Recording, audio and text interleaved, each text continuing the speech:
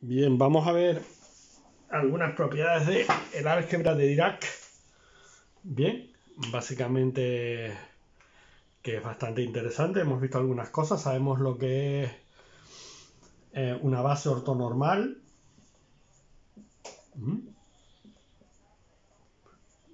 De tal manera que, bien, verifican esta relación de, con la delta de Kronecker, que significa que, eh, bueno, análoga a los vectores de R cubo y J y K, ¿de acuerdo? Y bueno, tenían diversas propiedades que hemos visto, la relación de cierre, que son linealmente independientes, que se puede expandir cualquier vector de una manera unívoca en función de esas tres, etcétera, etcétera. Bien, también habíamos visto que la función de onda una función de onda que puede tener una forma así, z1, vamos a ponerlo bien, una representación de números complejos. Eh, perdón, lo estoy poniendo mal, esto sería la representación de un bra, no de un ket. ¿eh? Vamos a ponerlo bien. Si yo coloco aquí un, un ket, pues yo tengo una función de onda así, que va a tener una representación. Bien, y si el ket yo lo, digamos, lo represento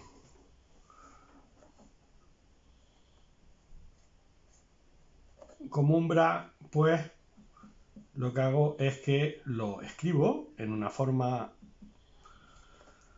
fila y hago los complejos conjugados. Bien, el álgebra de Dirac, llamamos álgebra de Dirac cuando resulta que no vamos a estar todo el rato escribiendo, hay que saber que esto es una fila y esto es una columna, pero no vamos a estarlo todo el rato escribiendo. Entonces, si yo, por ejemplo, yo sé algunas cosas, yo sé si, por ejemplo, yo multiplico A por el ket, yo sé ya que es como multiplicar el escalar por todo cada uno de, los, de sus miembros. Y lo puedo escribir así, meter A dentro del ket. ¿Lo ven? Meter A dentro del ket. Bien. ¿Y qué pasa si yo tengo, por ejemplo, vamos a ver algunas cosas de la álgebra que pueden ser pues, bastante útiles e interesantes. Si yo tengo lo que he hecho antes, un escalar por un vector, y de repente hago el conjugado. Pues si hago el conjugado, este término pasa a estar conjugado y este pasa al espacio dual, ¿de acuerdo? Y se conjuga todo lo que hay dentro. Y entonces, si este entra aquí dentro, ya no hace falta conjugarlo porque al estar aquí dentro ya está directamente en el espacio dual, ¿lo ven? ¿Mm? Se conjuga si queda fuera como un escalar que puede multiplicar a un bra o a un ket, pero si está dentro no hace falta. Es decir, si yo tengo esto de aquí y lo conjugo, pues de alguna manera lo paso al espacio dual, pero cuando yo en esta notación paso al espacio dual, va implícito que he conjugado todos los elementos que hay dentro, todos los valores complejos. Mientras que si lo dejo fuera, tengo que conjugarlo, ¿lo ven? Explícitamente. Y cuando entra, como está entrando al espacio dual, tengo que cambiar de conjugado. Conjugar el conjugado es no conjugar, ¿vale? ¿De acuerdo? Lo ven así. De tal manera que esta operación, ¿eh? vean que es coherente esto con hacer esto de aquí, ¿vale?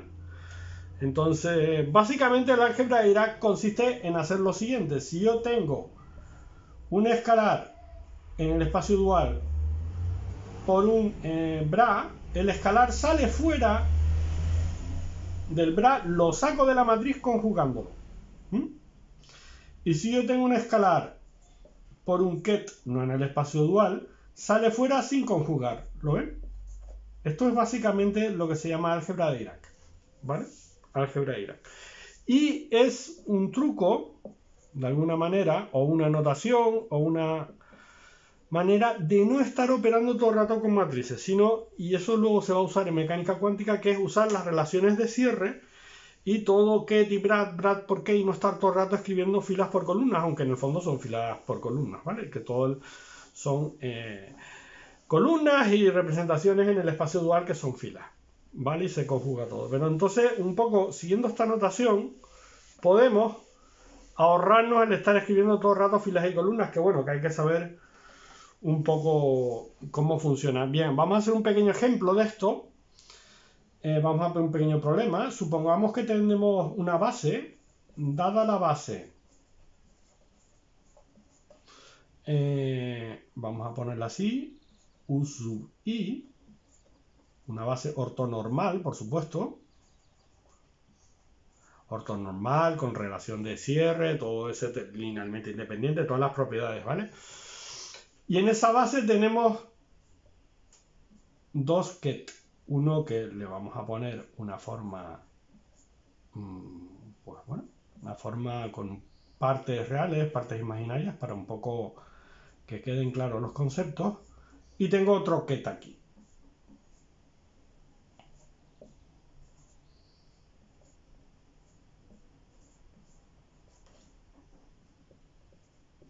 ¿Vale? Tengo dos ket.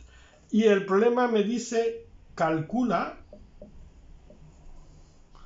pues, el dual del el primer ket, el dual del segundo ket y el producto interno de este por este de aquí. Y también me dice que si quiero calcular el producto interno contrario, ¿vale? Que va a ser, bueno, el conjugado del anterior, pero bueno, esto habría que demostrarlo, ¿vale? Bueno, pues vamos a ver si lo hacemos siguiendo la álgebra de Irak y no usando, porque esto todo lo podemos escribir, ya lo saben, en, formato de, de, matrices y todo este tipo de cosas. Porque claro, son los, coeficientes y pasar de filas a columnas. Vamos a ver si lo hacemos siguiendo el álgebra Irak. Bien, si yo sigo el álgebra Irak, el bra asociado a este ket, miren que tengo que conjugar, que conjugar sería 2 y vamos a hacerlo despacito. Menos 3, el 3 no, no le afecta porque es real, más y conjugado por u sub 3. ¿Lo ven? Entonces, ven, esto ya, si opero un poquito aquí, me queda esto es menos 2i por u sub 1 menos 3 por u sub 2 menos i por u sub 3. ¿Vale? Y el otro vector, si calculo el bra, bueno, voy a hacer un poco más rápido, sería el 3 por el u sub 1, ¿lo ven? Menos 2 por el u sub 2.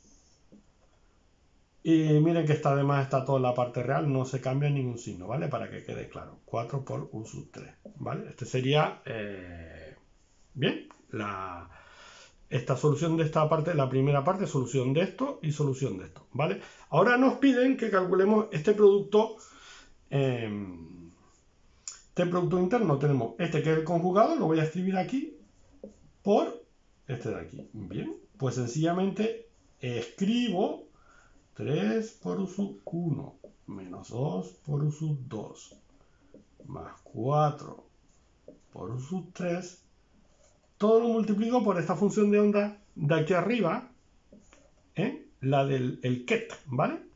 2i por u sub 1 menos 3 por u sub 2 más i por u sub 3. Bien, vamos a hacerlo aquí para que salga bien, ¿vale? Bien, pues cuando voy a hacer este producto, resulta que como es ortonormal y verifican eh, esto de aquí, U sub i por U sub j va a ser igual a, una delta de Kronecker, todo lo que sea diferente no me va a contribuir. Es decir, U sub 1 por U sub 2 va a ser 0, U sub 1 por U sub 3 va a ser 0, U sub 1 solo no va a ser 0 cuando multiplique a U sub 1. El 2 con el 2 y el 3 con el 3. Pues si hago eso, me va a salir esto 6i por U sub 1 por U sub 1, que es igual a 1.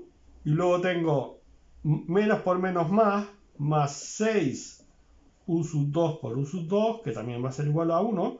Y luego tengo 3 por 3, que va a ser 4i u sub 3 por u sub 3, que también va a ser igual a 1, ¿vale? Esto será 1, esto será 1 y esto será 1.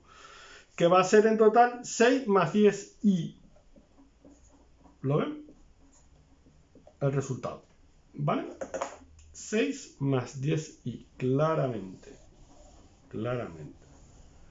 Pues bueno, si yo ahora eh, tengo que calcular el contrario,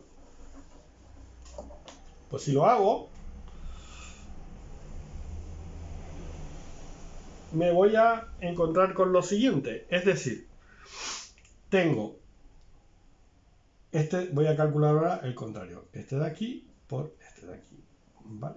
Entonces, eh, bueno, lo he borrado, pero pone este conjugado. Bueno, lo hacemos en un momentito, que es fácil. Menos 2i por u sub 1. Menos 3 por u sub 2. Menos i por u sub 3. ¿Vale? Este sería el conjugado de este. Y este de aquí abajo sin conjugar. 3 u sub 1 menos 2 u sub 2 más 4 u sub 3. Vamos a ponerlo aquí para que nos quede bien el reflejo. Bien, pues lo mismo.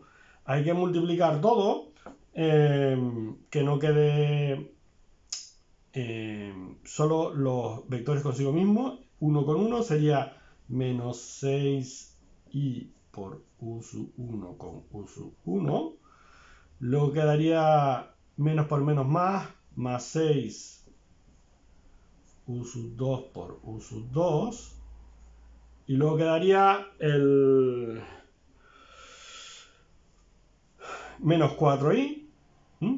Perdón, falta este de aquí. Sería eh, i por esto con el u sub 3 menos 4i por u sub 3. Menos 4i por u sub 3, que también sería igual a 1. Y esto de aquí ¿vale? Esto de aquí va a ser 6 menos 10i. Y miren que es exactamente el conjugado de lo que hay arriba. Claro, porque hay una propiedad que vamos a marcarla aquí, que no la habíamos puesto, que la habíamos puesto en los últimos días, que esto conjugado es lo mismo que esto sin conjugar. Es decir, podemos invertir el orden del elemento de, este producto interno conjugándolo. Es decir, y efectivamente lo que nos ha pasado. Si conjugamos esto de aquí, obtenemos el conjugado del de abajo. ¿Lo ven? Así que todo está perfecto, ¿vale? Pues nada, bien. Esto ha sido un ejemplo de la álgebra de Dirac, ¿vale?